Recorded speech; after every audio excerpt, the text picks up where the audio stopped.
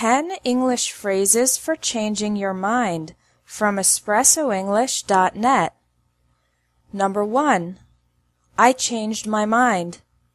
This is the simplest way to say that in the past you had one opinion or decision, but later you changed it.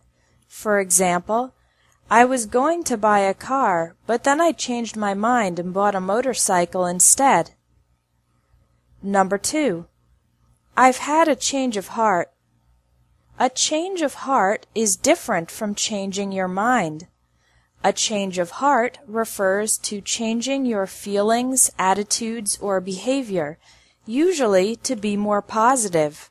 For example, the boss told us we would have to work on the holiday, but then he had a change of heart and gave us the day off.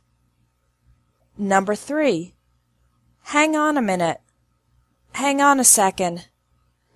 Use these phrases to tell the other person to wait they are often used when you are debating a decision and you need a little more time to think. Number four, on second thought, use this phrase to introduce your final opinion or decision, which you believe is better. Let's go to the mall this afternoon. Okay. On second thought, it's probably going to be really crowded because it's Friday how about we go to the movies instead? Number five, on reflection, upon reflection.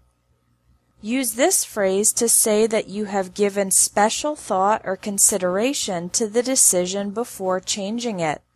For example, I was thinking of becoming an engineer, but upon reflection I decided that teaching would be a better career choice for me.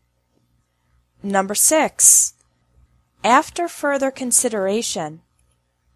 This is a more formal phrase used to say that you have given additional consideration to the situation and changed your opinion or plan. It can be used in business English.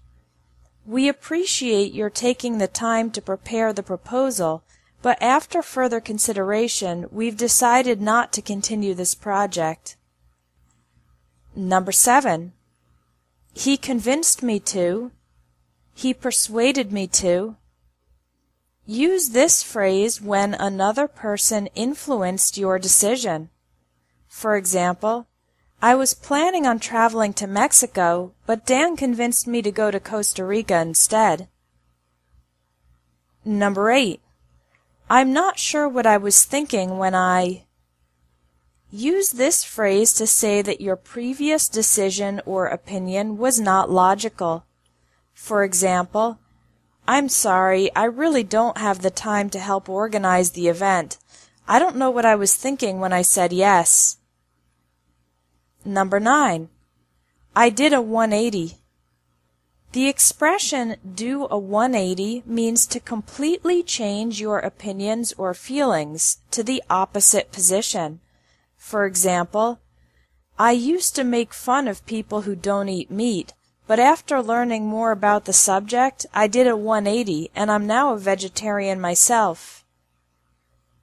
Number 10. She tends to be fickle. Describing a person as fickle means that the person is indecisive or changes their mind a lot. It's a person who isn't strong in their decisions. Thanks for watching English Tips from Espresso English. If you liked this video, please share it.